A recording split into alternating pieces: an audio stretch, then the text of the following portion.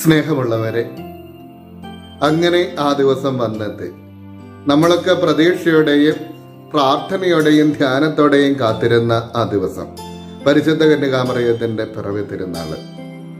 ഈ ലോകത്തിൽ യേശുവിന്റെ ജനനം കഴിഞ്ഞാൽ പിന്നീട് സകല മനുഷ്യരും ഏറ്റവും ഭക്തിയോടെയും ഏറ്റവും ആഘോഷത്തോടെയും കൂടെ കൊണ്ടാടുന്നത് പരിശുദ്ധ കന്യകാമറയത്തിന്റെ പിറവി തിരുന്നാളായിരിക്കും എന്തുകൊണ്ടാണ് ആദിമകാലം മുതലേ പ്ര- പരിശുദ്ധാമ്മയുടെ തിരുനാളിന് ഇത്രമാത്രം പ്രസക്തി ഉണ്ടായത് പ്രാധാന്യമുണ്ടായത്.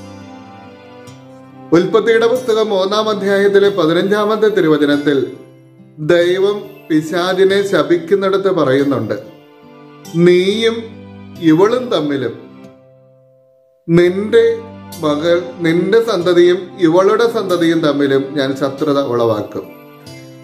ഇവളിൽ നിന്ന് പുറപ്പെടുന്നവൻ നിന്റെ തല തകർക്കുകയും ചെയ്യും. പരിശുദ്ധ കന്യകാമറിയത്തിന്റെ പിറവിയോടെ ലോകത്തിൽ മറ്റൊരു യുഗം ആരംഭിച്ചു കഴിഞ്ഞു. ഇതുവരെയും ഉണ്ടായിരുന്ന യുഗം പിശാജ് തല ഉയർത്തിപ്പിടിച്ച് നടക്കുന്ന കാലം മനുഷ്യൻ തല താഴ്ത്തിപ്പിടിച്ച് നടക്കുന്ന കാലമായിരുന്നു. അതായത് പാപത്തിന് പരിഹാരമില്ലാതിരുന്ന കാലമായിരുന്നു അത്. ഇത് പരിശുദ്ധമ്മയുടെ ജനനത്തോടുകൂടെ തക തകർക്കപ്പെട്ട തലയുമായി പിശാജ് നടക്കുകയും ഉയർത്തിയ വിജയത്തിന്റെ വിജയത്താൽ ഉയർന്നു നിൽക്കുന്ന തലയുമായി ശിരസുമായി മനുഷ്യൻ നിൽക്കുകയും ചെയ്യുന്ന ഒരു യുഗമാണത്. ആ യുഗത്തിന്റെ പിറവി എന്നുള്ളതാണ് പരിശുദ്ധ കന്യകാമറിയത്തിന്റെ പിറവിയുടെ പ്രാധാന്യം അതാണ്. അത് മാത്രമല്ല യേശു തന്റെ അവസാന മണിക്കൂറുകളിൽ നമുക്ക് തന്ന സ്നേഹസമ്മാനമാണ് പരിശുദ്ധ കന്യകാമറിയം. എന്തുകൊണ്ടാണ് ജീവിതത്തിന്റെ അവസാന മണിക്കൂറുകളിലേക്ക് മനുഷ്യന് ഈ സമ്മാനം നൽകാൻ യേശു കാത്തിരുന്നത്? ഏറ്റവും നല്ലത് ഏറ്റവും അവസാനം തരുന്നു എന്നുള്ള ഒരു പ്രായോഗികതയ്ക്കപ്പുറത്തേക്ക്. പരിശുദ്ധ കന്യകാമറിയത്തിന് രണ്ട് തരത്തിലുള്ള കൃപയുണ്ടായിരുന്നു. ഒന്ന് ദൈവപിതാവ് അമലോത്ഭവം എന്നുള്ള ദാനത്തിലൂടെ അവൾക്ക് കൊടുത്ത കൃപ. രണ്ടാമത് അവൾ തന്റെ ജീവിതത്തിലൂടെ നേടിയെടുത്ത കൃപ. ആ നേടിയെടുത്ത കൃപ നമ്മൾ ഏറ്റവും കൂടുതൽ കാണുന്നതും യേശു ഒരുപക്ഷെ ഏറ്റവും കൂടുതൽ അനുഭവിച്ചതും തന്റെ കാൽവരിയിലെ യാത്രയിലൂടെയായിരുന്നു യാത്രയിലായിരുന്നു. ഗലിയിലിൽ നിന്നും വന്ന അനേക സ്ത്രീകളോടൊപ്പം പരിശുദ്ധ കന്യകാമറിയും ഉണ്ടായിരുന്നു. അവന്റെ വിചാരണ വേള മുതൽ അവനെ അടക്കുന്ന സമയം വരെയും. ഈ സമയം മുഴുവനും പരിശുദ്ധ കന്യകാമറിയം യേശുവിന്റെ കൂടെ നടക്കുകയാണ്. അവനെ ബലപ്പെടുത്തിക്കൊണ്ട്.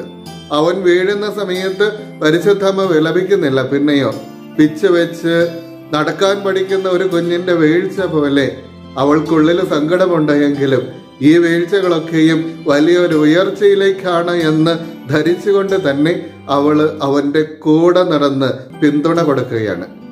ഒരു ജീവിതകാലം മുഴുവൻ മനുഷ്യന്റെ ജീവിതം ജീവിച്ചു തീർത്ത യേശുവിനറിയാം. മനുഷ്യര് ഒരുപാട് വീഴുന്നവരാണ്. ഒരുപാട് വീഴുകയും തകരുകയും ചെയ്യുന്നവരാണ്. അങ്ങനെയുള്ളവർക്ക് അവരുടെ കൂടെ നടക്കാൻ ഒരമ്മയുടെ സഹായം ആവശ്യമുണ്ട്. തന്നെ എങ്ങനെയാണോ കുരിശിന്റെ വഴിയിൽ തന്റെ അമ്മ താങ്ങി നിർത്തിയത് തണലായി നിന്നത് പിന്തുണയോടെ നിന്നത് അതേപോലെ വീഴുന്ന മനുഷ്യരുടെ മുൻപിൽ. പ്രതീക്ഷ തകരുന്ന മനുഷ്യരുടെ മുൻപിൽ അവരുടെ കൂടെ നടക്കാൻ ഒരു അമ്മയുണ്ടാകണം എന്നുള്ള യേശുവിന്റെ ആഗ്രഹമാണ് അവസാന മണിക്കൂറുകളിലേക്ക് തന്റെ അമ്മയെ തരാൻ അവിടുത്തെ പ്രേരിപ്പിച്ചത്.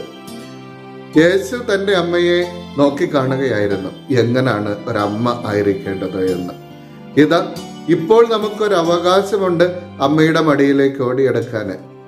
അമ്മയ്ക്കാകട്ടെ ഒരു കടമയുണ്ട് തന്റെ അടുക്കലേക്ക് ഓടി അടുക്കുന്ന മക്കളെ സംരക്ഷിക്കാനുള്ള ഒരു കടമ. നമുക്ക് അവകാശവും അമ്മയുടെ കടമയുമാണ് കാൽവരി കുരിശിൽ വെച്ച് അവൾക്ക് കിട്ടിയ നിയോഗം. യേശുവിന്റെ മരണശേഷം അവളുടെ മടിയിൽ നിന്നും ഇതാ യേശുവിന്റെ മൃതശരീരം എടുത്തു മാറ്റപ്പെട്ടു. ആ മടിയിൽ ഇപ്പോൾ ഒന്നുമില്ല. ശൂന്യമായി കിടക്കുന്ന ആ മടി അത് ആർക്ക് വേണ്ടിയാണ് നമ്മളൊക്കെ ഓടി തളർന്നു കഴിയുമ്പോൾ നമ്മളൊക്കെയും നമ്മുടെ ജീവിതത്തിന്റെ ഏറ്റവും തകർന്ന സമയങ്ങളിൽ ആ മടിയിൽ ഓടി അണയാൻ വേണ്ടി ശൂന്യമായി കിടക്കുന്ന ഒരു മടിയുണ്ട് നമുക്ക്. പരിശുദ്ധാമ്മ തന്റെ മുഴുവൻ ദുഃഖങ്ങളും തന്റെ മടിയിൽ കിടക്കുന്ന മൃതശരീരമായ ആ മകന്റെ മുഖത്ത് നോക്കി സഹിച്ചതുപോലെ മറ്റർത്ഥത്തിൽ പരിശുദ്ധാമ്മ തന്റെ ജീവിതത്തിന്റെ അർത്ഥം ആ മകന്റെ മുഖത്ത് നിന്ന് വായിച്ചെടുത്തതുപോലെ നമ്മുടെയും ജീവിതത്തിന്റെ തകർച്ചയുടെ സമയങ്ങളിൽ അമ്മയുടെ മടിയിൽ കിടന്നുകൊണ്ട് അമ്മയുടെ മുഖത്ത് നോക്കി നമ്മുടെ ജീവിതത്തിന്റെ അർത്ഥം വായിച്ചെടുക്കാൻ സഹനങ്ങളുടെ വില മനസ്സിലാക്കാൻ നമുക്ക് സാധിക്കട്ടെ എന്ന് പ്രാർത്ഥിക്കുന്നു. ദൈവം നമ്മളെ അനുഗ്രഹിക്കട്ടെ.